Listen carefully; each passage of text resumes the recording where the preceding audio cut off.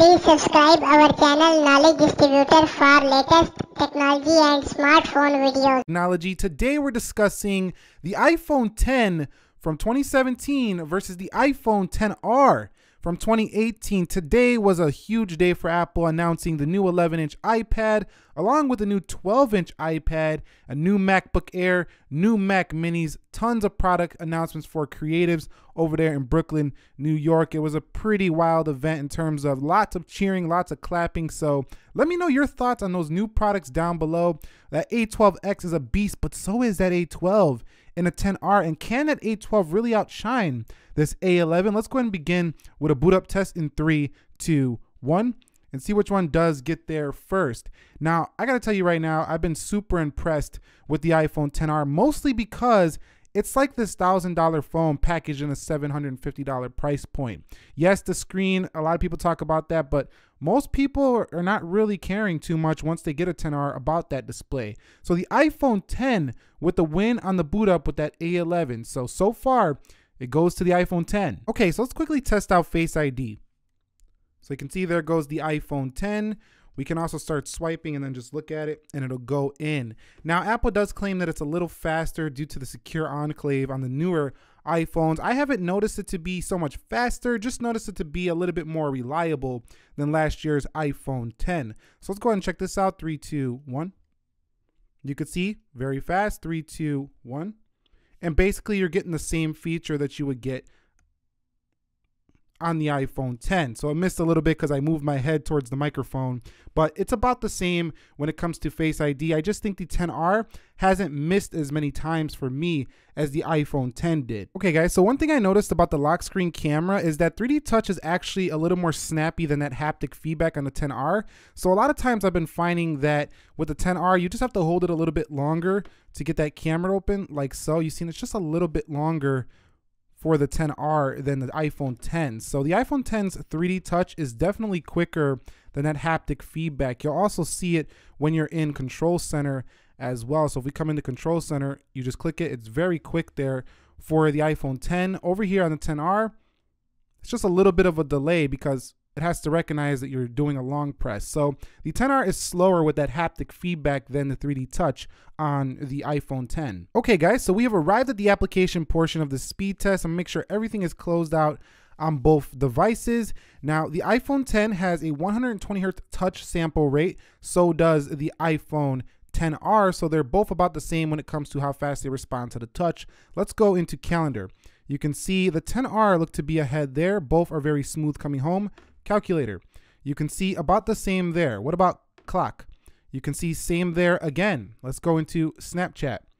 You can see that goes to the iPhone 10. Now, some of these applications are going to win on the 10 because they're better optimized. Developers have to get on board with all three new iPhones. It's a lot of work to get all those apps updated. So, in a little while, the 10R apps should be even more close to the iPhone 10. Let's go into WhatsApp and you could see WhatsApp. It looked like it was slightly on the 10, very microsecond slightly. Let's go into Instagram.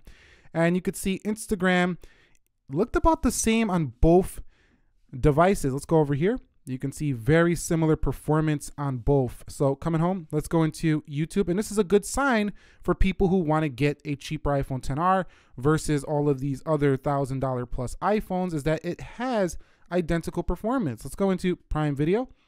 And you could see Prime Video is a win for which device is going to get it. That looks slightly to the iPhone 10. Let's go into Amazon.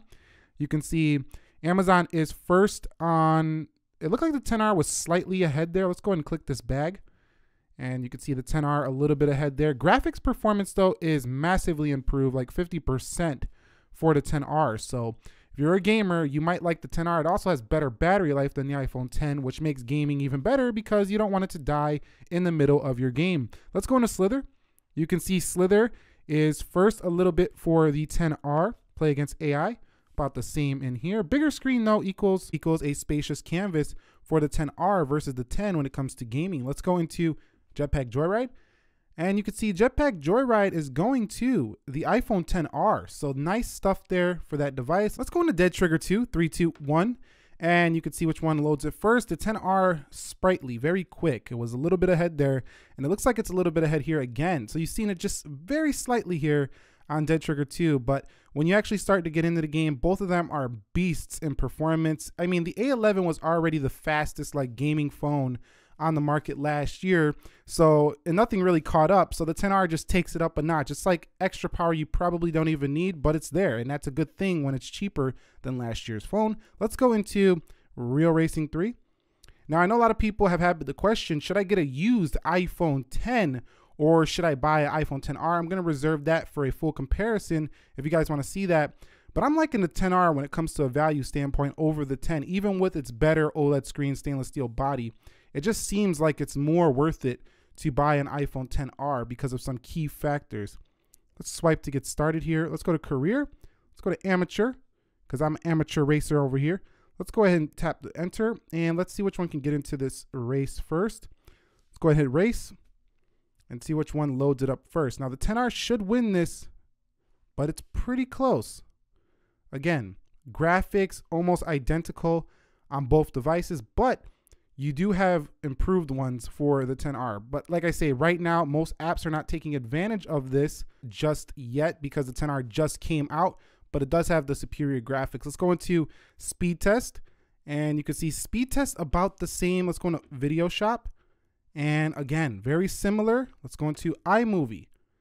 And you can see iMovie look to be on the 10. Let's go into Geekbench. This is going to the 10 because Geekbench hasn't updated for these new iPhones just yet. Let's go into Safari. And you could see the iPhone 10 slightly ahead there. So you can see throughout this test, it's basically identical in real world everyday app opening times and running games and stuff. Optimization issues are still here for the 10R, uh, whereas more apps are definitely more optimized for the 10 and 10S. So if you want a more complete experience, 10 is still better at this current time but the 10R is a beast for the price. Okay guys, so what I'm gonna do here is just run through multitasking to see if we get any app openings like reloads. Let's go into calendar, nothing, calculator, nothing, clock, nothing, Snapchat, nothing. What about WhatsApp, nothing, Instagram coming home, YouTube coming home, Prime Video coming home, and Amazon. Let's swipe out of there. eBay. Let's swipe out of there. Slither. Let's come out of there. Good RAM management so far. iOS 12, iPhone 10. Dead Trigger 2 you can see that a little bit of a pause there. And Real Racing, ready to go. And how about Speed Test, ready to go. Video Shop, ready to go. iMovie, with a slight reload there. What about Geekbench? Nothing, and Safari is ready. So only one reload, a little bit there on iMovie. What about the iPhone 10R with also having 3 gigabytes of RAM? You could see calendar, calculator, clock, Snapchat, WhatsApp, Instagram with the reload here for the 10R, a little bit surprising considering it's an A12. And you could see Prime Video. Prime Video stutters a little bit. Actually, that wasn't a stutter, it was an advertisement. So we're gonna take that back. It wasn't a stutter for the 10R, it was an ad that popped up. Amazon, let's go into eBay, and let's go into Slither. Let's go into Jetpack Joyride. Dead Trigger 2, same thing as the 10. Real Racing, speed test. Let's go into Video Shop and let's see if iMovie. Yes, iMovie did the same thing on the 10R and Geekbench and Safari. So RAM management about the same on both. It's kind of expected. They both have three gigabytes of RAM. So I think the 10R is still more impressive for the price because it's basically matching that of the iPhone 10. Okay, so here we are in iMovie. I shot a video on the 10R at 4K 30. It's about a minute or so long on here, airdropped into the iPhone 10.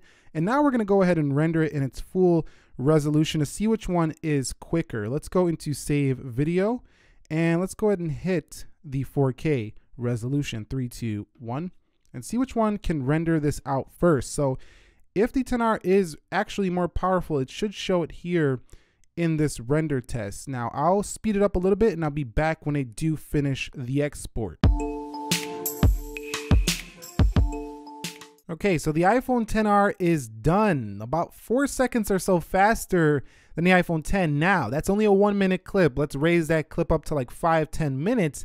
The 10R should be significantly in the lead over the 10. So that shows right there that the iPhone 10R is a more powerful smartphone than the iPhone 10. And here we are with Geekbench, and of course, you guessed it, the iPhone 10R with an easy win, almost a thousand points on the multi-core better than the iPhone 10 over here. Not so much in the single core, but definitely in the multi-thread stuff. The iPhone 10R pulls way ahead over the 10. In conclusion, iPhone 10 or iPhone 10R, which one is faster? Well, that's the 10R. You've seen it in Geekbench, you've seen it in iMovie, you also seen it in many, you know, applications being about the same as the 10. So if you're looking for the more speedier, powerful phone, that's going to be the iPhone 10R, even though it's cheaper than most iPhone 10 ever was when it was on the market. Now, in the used market, you can get the 10 for the same price, but if you don't need that OLED screen, I do think the 10R is the better option here. But that's just my take on it. You might differ. Let me know your thoughts down below in the comment section of this video. If you enjoyed the speed test, click that like button for me. If you have any other video suggestions, recommendations, leave them